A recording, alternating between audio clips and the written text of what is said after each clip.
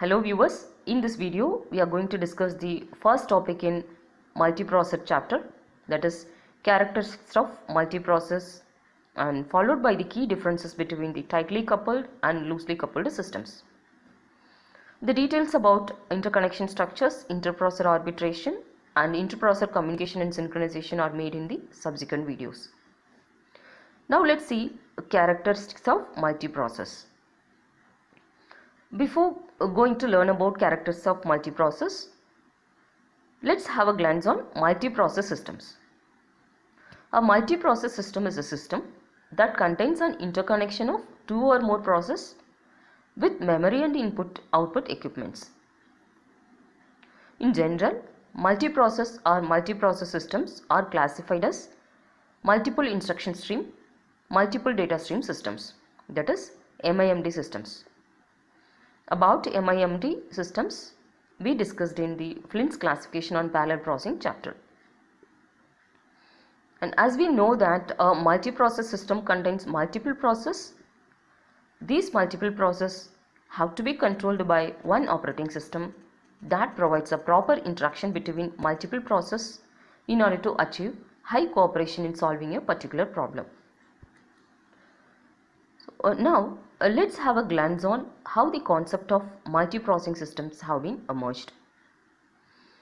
The first reason is the emergence of microprocessor that is a microprocessor have led to the consumption of multiprocessing system as the microprocessors take very little space and inexpensive.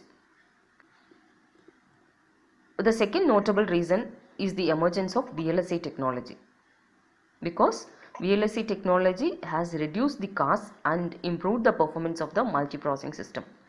So, the invention of microprocessor and VLSI technology are the notable reasons for the emergence of multiprocessing system concept.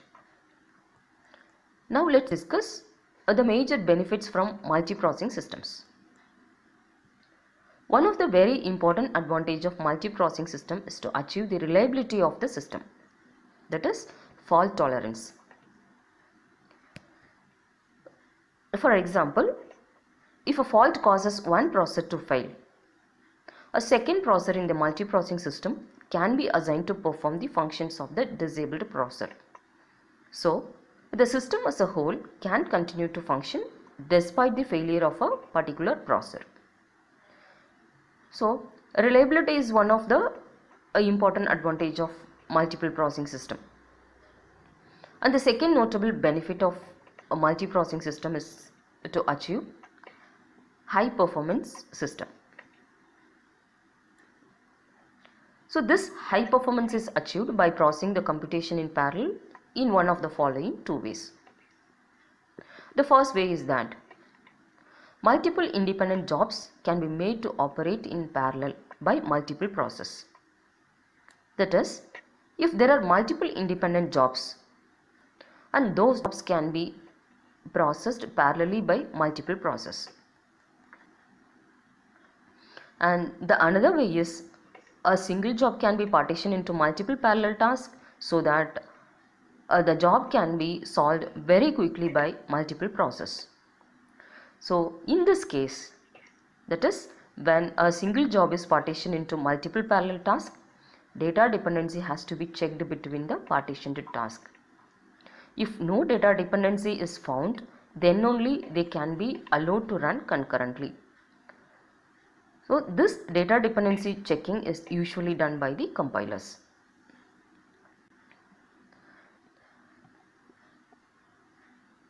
Now let's discuss coupling of process. We know that a multiprocess system is a system that contains an interconnection or coupling of two or more process. We can classify the multiple process system based on the interconnection made between the multiple process in the system.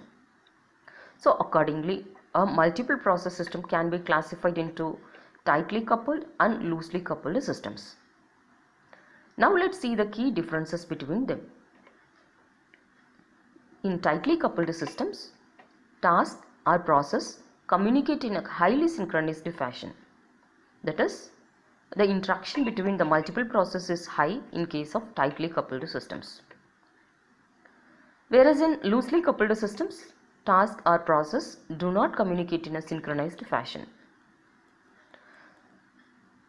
In a tightly coupled system, multiprocessor always have a common shared memory. Whereas in loosely coupled system, each processor element has its own private local memory. So that's why in general loosely coupled systems are also known as distributed memory system since each processor in the loosely coupled system has its own private local memory. In tightly coupled systems, communication is made between the multiple process through a common shared memory. That's why a communication overhead or overhead for data exchange is lower comparatively in tightly coupled systems.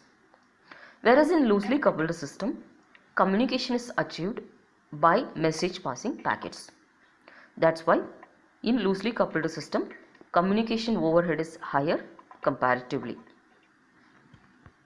So in this video, we have learnt about characteristics of multiprocess and the key differences between the tightly coupled and loosely coupled systems.